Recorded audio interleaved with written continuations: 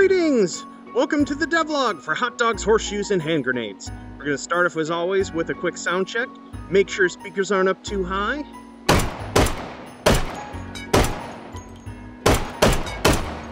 Wonderful. So what have we got for you? Well, this Tuesday we've got part two of our Meatmas Roundup, where we take a look at all of the fun new toys that have been added this past week in our Advent boxes and uh, talk a little bit about them. So let's go ahead and jump over to the first one.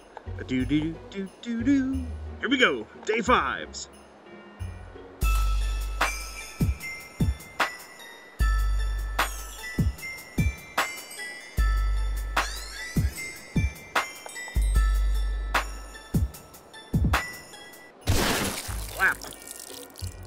And we have ourselves the Agram 2000. This is by uh, Sebastian uh, I, I, I, hope I'm not butchering your last name, uh, Sebastian. But this is a uh, actually, I think, the most modern open bolt uh, weapon that is now in the game. I'm going to plug in a 16 rounder for it. It's 9 by 19. This is from uh, Croatia and it's actually built on, my understanding is that this is basically the uh, Beretta M12 um, with a different housing, uh, faster rate of fire. Uh, let's rack this over full auto, give it a shot. Oh, that is semi. Pop that there. No stock on this, so it is not the most controllable thing, but there is a stock mount on it uh, if you want to throw one of those attachments on. Let's see if we can manage to hit something with it. There we go. It's the fire more bullets approach.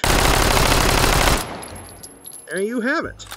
So there is our open bolt Agram 2000. Looks like a space gun. Just love it. Love it beautiful work, and thanks to Sebastian. Next up, do do do do do do.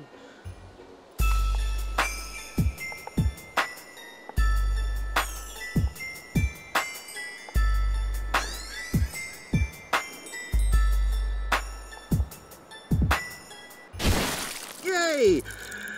Courtesy of uh, Patrick Sutton, an artist who uh, not only has done a majority of our firearm sound in the game, but a whole bunch of its gorgeous weapons, we have our first gun from that is uh, Chinese. It's the QBZ 95, the original version of it. As you can see, it is a uh, it's a bullpup rifle. We have our charging handle up here yet another one that kind of has that feeling of being sort of a space gun, especially with some of these angles here. And uh, this uh, this one was a bit of a challenge for some folk, because um, when we click left on the uh, touchpad or joystick, nothing happens. And that's because the charging uh, switch, I'm sorry, not charging, fire selector, is all the way back here. So we set that up back there. Actually got a pretty nice iron on there. It's our, starts on full auto actually hit something with it. There we go. Fairly fast rate of fire. Can also pop that onto semi for a little more control. Oh, I am out. Pull that out of there. Grab our other mag here. A few more shots. There we go. Cool platform pop the brass out back there. So there you have it. That is our QBZ 95. Space gun. Thanks a ton, Patrick. On to our next one. Do do do do do do. Here we go.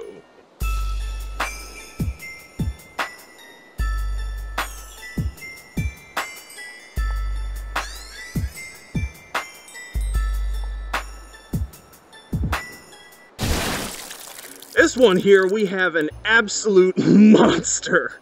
Monster of a gun.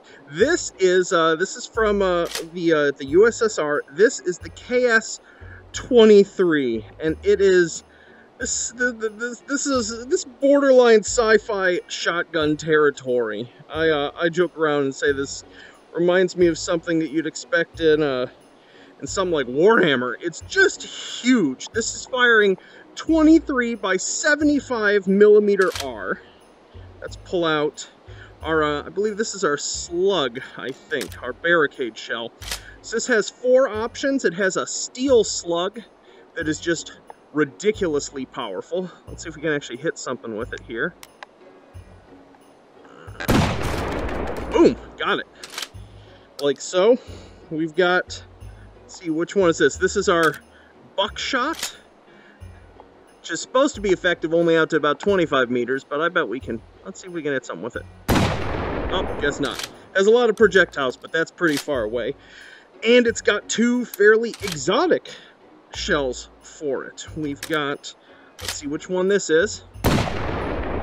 We've got a, uh, a CS gas shell, which is great for uh, breaking line of sight with bots. And we've got one that's basically like a flash grenade. Boom! Super fun. It's a 3 plus 1, so we can actually put in here. This makes a great backup, actually, for just uh, suppressing a whole bunch of bots at once. If they're coming towards you, you can just unload on them with those flash cartridges. I think I actually prematurely ejected one before firing. Anyway, so there you have it. This one is brought to us by uh, Saint Sellotape, and it is, seriously, you, you might not get exactly how big this feels looking at it on a screen, but in VR, it just feels so bulky and huge. I love it. Alrighty, let's throw those back in there. Moving on to the next one. Do do do. Ah, here we go, number eight.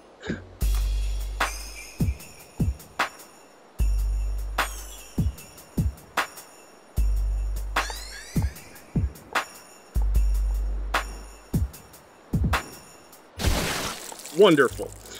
Courtesy of Stefan, we have a true classic here. That's right, we have the the OG, the original, the MP18, the uh, the father of the submachine gun. Um, and with it, this ridiculous snail magazine that is a little difficult to load, comes in via the side. Isn't that just delightfully unusual?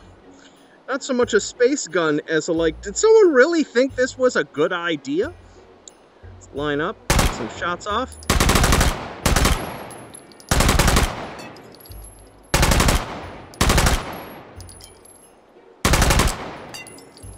Wonderful. Just look at that. So yeah, so this basically takes in the Luger's drum magazine, but as you can see, there's a little bit of an adapter that's wrapped around it. And this was actually to prevent you over inserting the magazine as well, considering that this is an open bolt. There's really nothing stopping you from doing so in there. So an unusual piece. We've got our, our, our safety latch there. That's the only safety this has got. Uh, yeah, classic, old school, primitive, but I'm sure uh, in its era was uh, quite surprising and a little bit terrifying.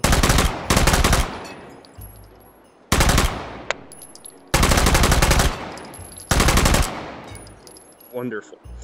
Thank you so much, Stefan, for this beautiful piece and truly a, a piece of history.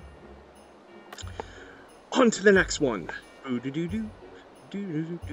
All right, number nine.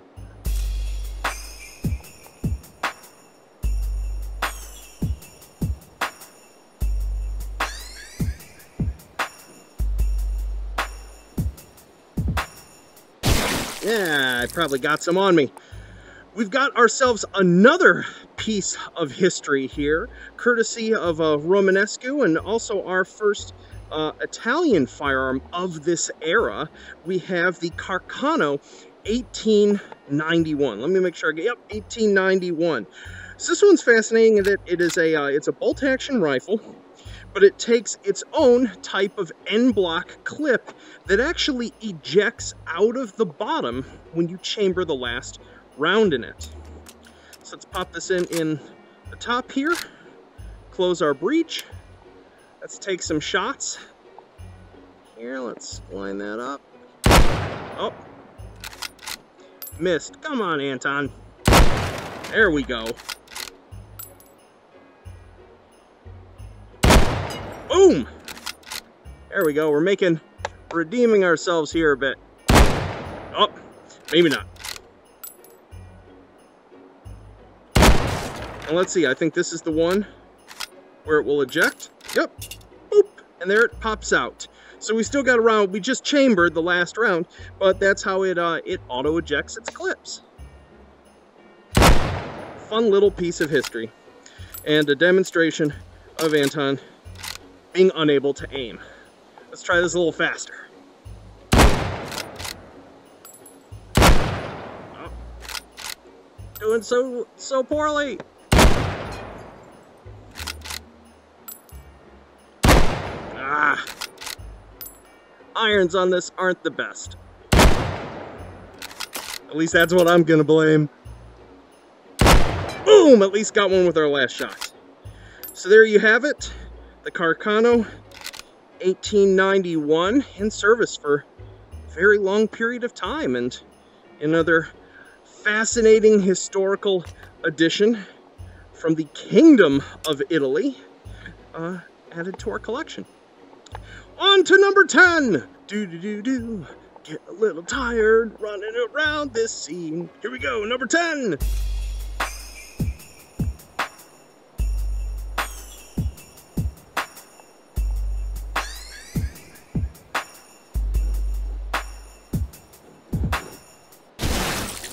I hope you're getting as tired of my dancing as I am of dancing.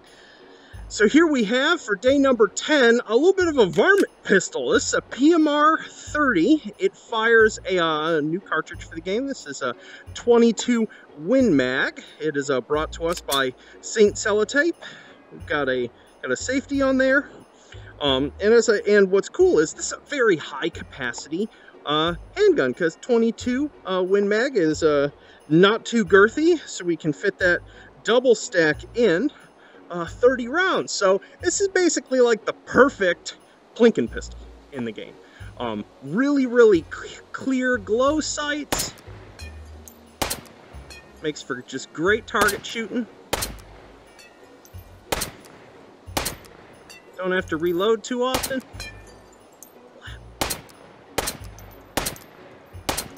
Am I shooting high or low? What's going on? There we go. So yeah.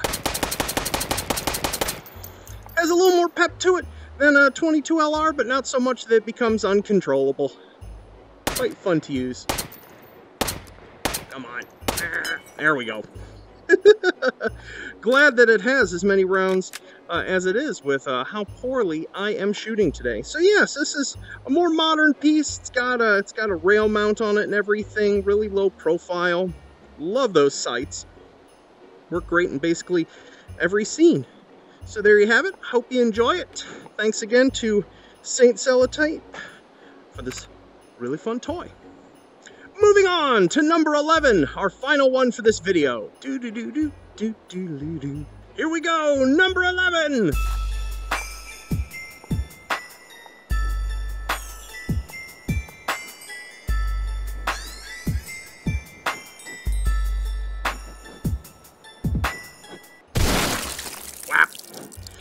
And we've got an interesting piece which I had never heard of before until finding this model. It's super recent, comes to us uh, from the Ukraine. Uh, this by Vados Respect, and this is the Maliuk.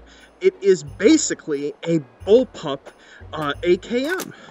Load in the rear there. Super fast thing. We've got a charging handle up here that's non-reciprocating. We have a cross bolt safety that we use to bring it from safe to fire, and then we still have like the AKM switch in the back, which instead of serving as a safety, brings us from full to semi-auto and back again. I didn't spawn myself an optic with this, so this will be just more of Anton not hitting things, probably. There we go. That isn't too bad. Spoke too soon. Boom! So there you have it. That is the Malyuk. Another one that's just like falls in the category of looking a bit like a space gun. Super fun, real compact. Yeah, it's gonna be fun to run, especially with a suppressor on it. It still won't be terribly long. So thanks to Vados for this really unique piece that, uh, honest to goodness, I uh, is doesn't you know you know a gun is either obscure or new when it doesn't even have a Wikipedia page yet. So there you have it. That is the Malyuk. Well, thanks for hanging out with me here and uh, taking a look at all of our fun presents for this week. I, I hope those of you who are following along uh, each day as well aren't too annoyed with the daily uh, updates and stuff. I've been trying to keep them as small as possible, but every now and again I have to uh, update the primary firearm package. So yeah, well, I will see you all uh, on stream or in Friday's uh, devlog, where we're going to be showing off yet another added mode to the uh, Kappa Coliseum. I will see you all then. Peace.